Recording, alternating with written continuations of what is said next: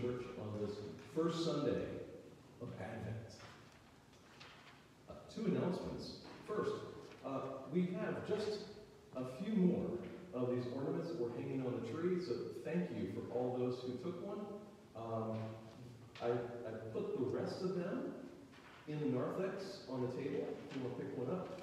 And while they may say a donation, um, it, really what we're looking for is um, donations of men's socks, underwear, t-shirts, or for those, you can simply make a monetary donation. It all goes down to Bessie Green uh, Community. Uh, that is housed in the Reformed Church there in Newark, where they're helping their community. So, you have those. Also, thank you to everyone who donated food over the last week. We received an immense amount of turkeys and canned goods and other non-perishables, but the message today is stop. we are overflowing with food. What we do need, if you really have a hungry when you're at the store, to, to do something, we could use personal hygiene products, uh, paper products, you know, shampoo, um, soap, those things. But if you're looking at that spaghetti box, set it down and walk away.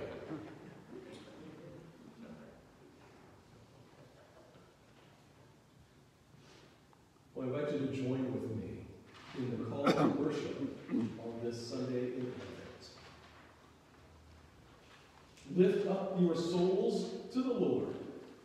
To you, O Lord, we lift them up. Put your trust in God. O God, in you alone we trust. Let us worship God.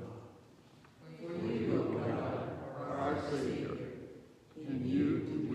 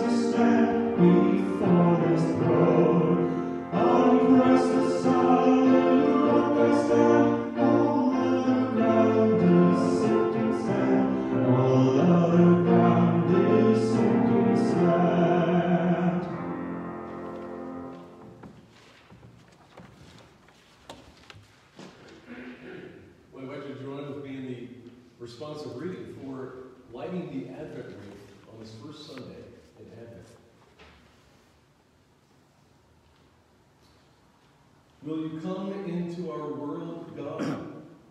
Will you come with hope? For we have too many good intentions, not enough hopes realized. Too many questions, too little assurance. Too many longings, too few prayers. will come, will come, Emmanuel. Bring hope. Don't you know, haven't you heard? The Lord is the everlasting God, the creator of the ends of the earth. He doesn't grow tired or weary. His understanding is beyond human reach, giving power to the tired and reviving the exhausted. Youths will become tired and weary. Young men will certainly stumble.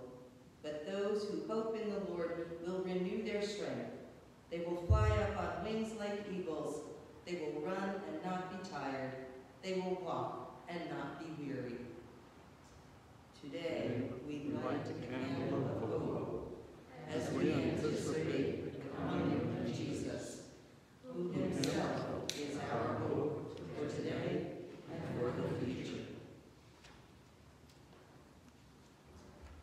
Let us pray together. Remember, O Lord, your great mercy and love, for they are from of old. Remember not our sins or our rebellious ways. For the sake of your holy name, O Lord, forgive our sins, for it is great. But you, O God, are good as you instruct sinners in your ways. So also guide us to do what is right. Help us to live in each moment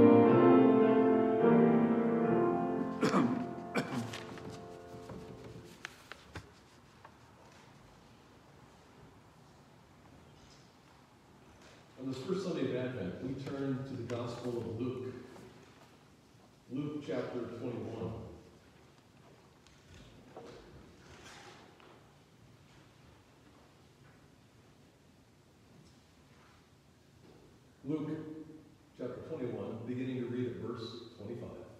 Listen to the word of God. There will be signs in the sun, the moon, and the stars, and on the earth distress among nations, confused by the roaring of the seas and the waves. People will faint from fear and foreboding of what is coming upon the world, for the powers of the heavens will be shaken.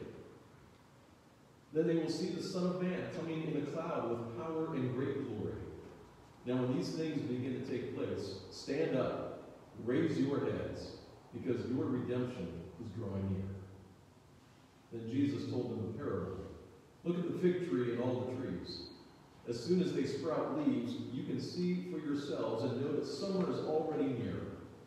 So also, when you see these things taking place, you know that the kingdom of God is near.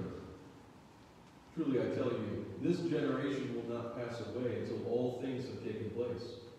Heaven and earth will pass away, but my words will not pass away. So be on guard, so that your hearts are not weighed down with dissipation and drunkenness and the worries of this life, and that the day does not catch you unexpectedly like a trap. For it will come upon all who face, who live on the face of the whole earth. Be alert at all times, praying that you may have the strength to escape all these things that will take place, and to stand before the Son of Man. This is the word of the Lord. Thanks be to God. Well, now that Thanksgiving is behind us, prepare yourselves. I mean, this is the message of Advent. It's the season of preparation. And there is already a lot of preparing going on. Christmas decorations, holiday music, classic Christmas shows, and Hallmark specials. And I'll tell you, I was looking through the TV guide, at 3 o'clock today, The Prince of Christmas will be airing. Don't know what that means, but it's a Christmas show. Already houses in my neighborhood have put up the lights on their house. Tonight, I assume they'll be lighting up the night sky. And there's another house that has installed those silly inflatables that cover your front lawn. They're up and ready to go. You can see that there's a lot of time and energy and money spent in preparing for the season. Where does all this preparation lead to? I find that it does very little to help us find our way to Bethlehem and a child. And it most definitely does not help us prepare for the other advent of Christ. That's the advent referred to in today's scripture reading in Luke. Luke has turned us from the manger to face Jesus' second coming, the second yet to come advent. This is like the adult version. This is the coming of Jesus we often leave on the store shelf of our faith. That when our children ask us for a bedtime story, or uh, Christmas Eve, as I or Pastor David gather the children here on the steps on a normal year, there on Christmas Eve, we gather them together and we read a short story.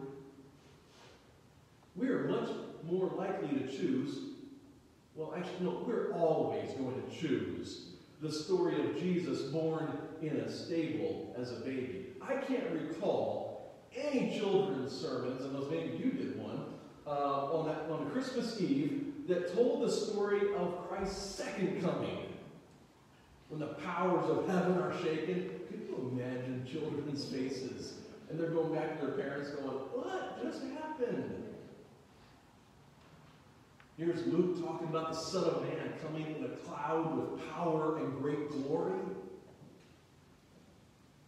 I thought we were talking about a baby. That's what most people only want to talk about in Advent. This morning's scripture is an about face from the usual scriptural suspects. We're not sure what to make of this other coming of Christ. Most likely, we haven't given it more thought or lip service when we come across it in our different creeds and confessions. Phrases of Christ coming again with glory to judge the living and the dead. We just got to read right through that. It's a whole lot easier and plausible to celebrate the birth of a child than Christ coming a cloud of glory and power.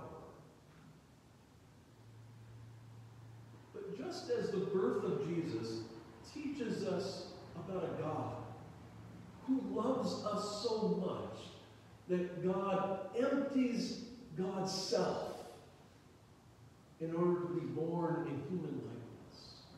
A God that comes as the innocent, the vulnerable, to be and to live and to minister among us.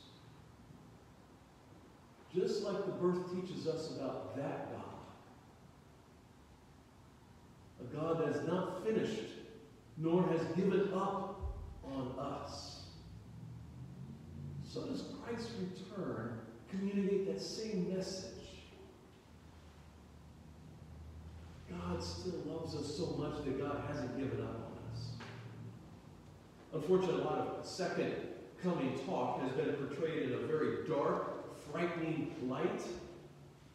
That's probably the part about people fainting with fear. And of course they will. When one doesn't know who is coming to knock on their door unexpectedly, your blood pressure does go up. The anxiety starts, you start to feel it. You're wondering who's on the other side. You don't know. But that's not the case, or shouldn't be, with the children of God. We know who is coming. The one who began a good work. The one who overcame death in resurrection. This is the one who comes and the one for whom we are to prepare this Advent season. The early Christians believed that God was guiding history. That the birth of Jesus steered history in a much needed direction. And where God is directing history, but God's intervention is always directing it towards a God's new world of justice and healing and hope.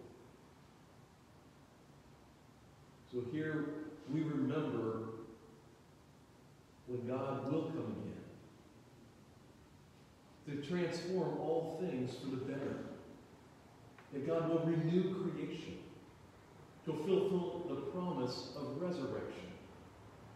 And when we see God or Christ coming again, we should know that the future of the dead is at hand.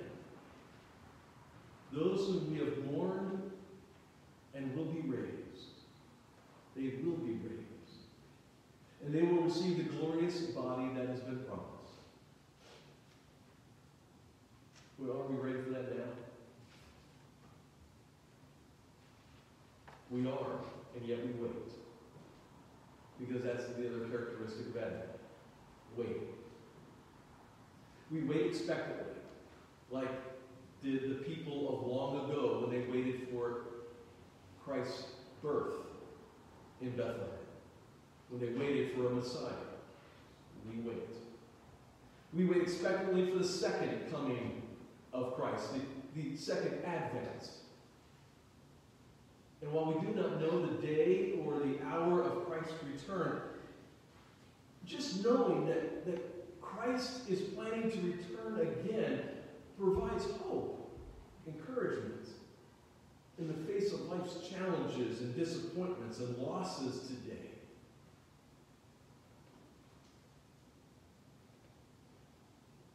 Janice Springer reflects on the days following her diagnosis of Parkinson's disease. And she writes, there have been many losses.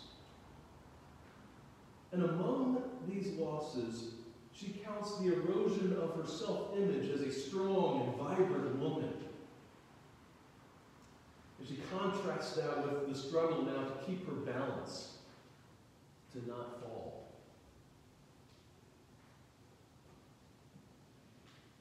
She's lost many other things as well. But perhaps, she writes, the most painful loss of all is my illusions, she writes. I've lost the illusion that I'm exempt from the losses and the limits that besiege other people. She writes, that each one of us will be confronted by losses. We all, at some time, are confronted by losses.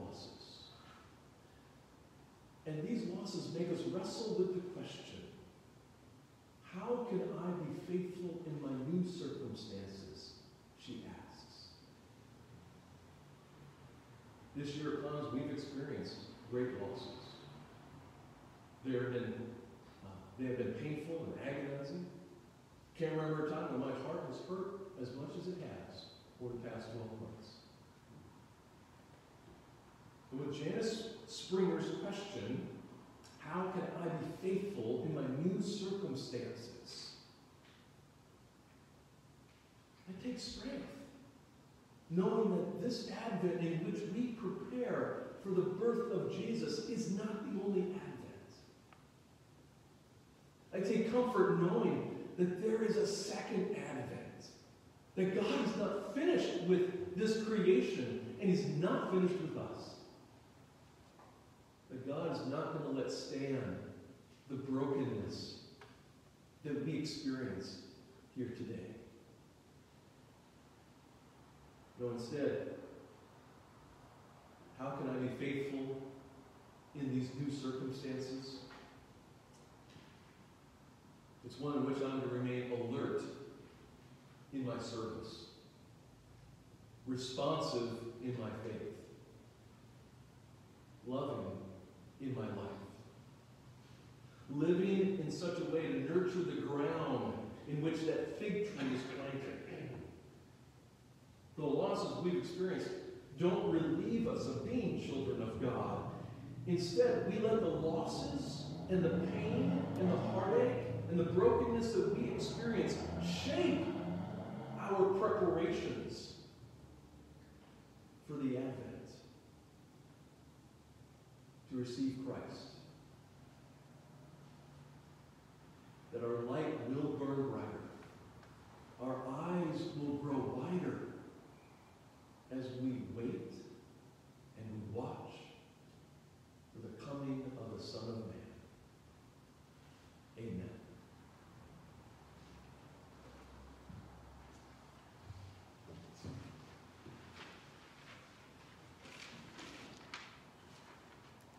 Before we turn to prayer,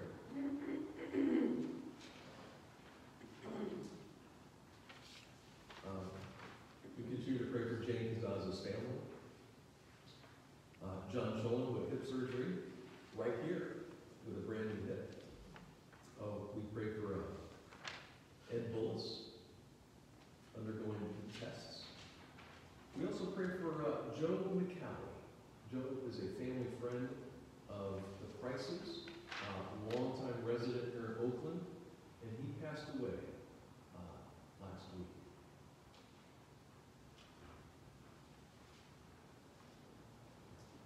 Let's pray. Almighty God, it doesn't take much for us to realize that we have a need for a second advent. Just look around and we see, we feel it, we've experienced it. A world that is not the kind of world that you created. It's not the world that you want for us. But yet it's a world in which you were willing to give it all. Even Christ's death on the cross. But then we saw your intent in Christ's resurrection. It's a foretaste of what is to come. Lord, we thank you for the hope that we have in Christ. And we wait during this Advent. We wait and we prepare.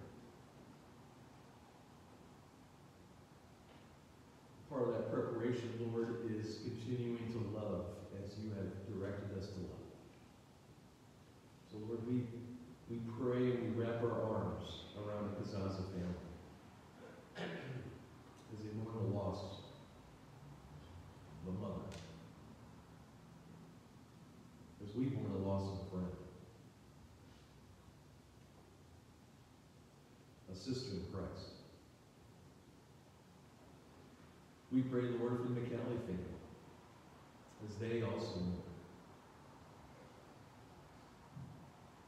We pray, Lord, for the families who never thought they would have to come to a food pantry, but they find themselves in those circumstances. For families who are struggling during this time,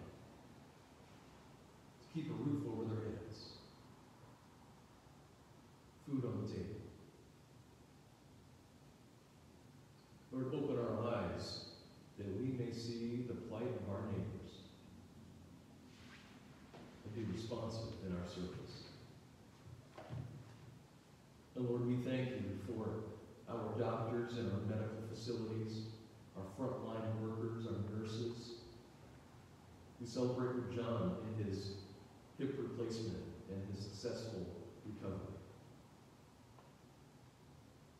or for all others that we have, that we hold in our heart. We pray for them.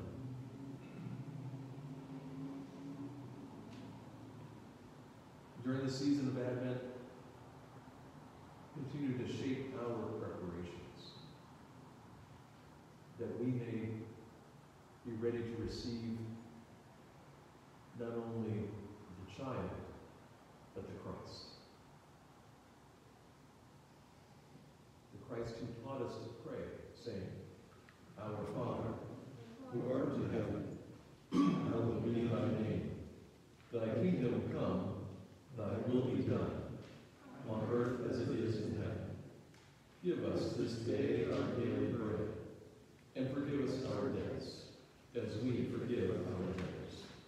And lead us not into temptation, but deliver us from evil. For thine is the kingdom, and the power,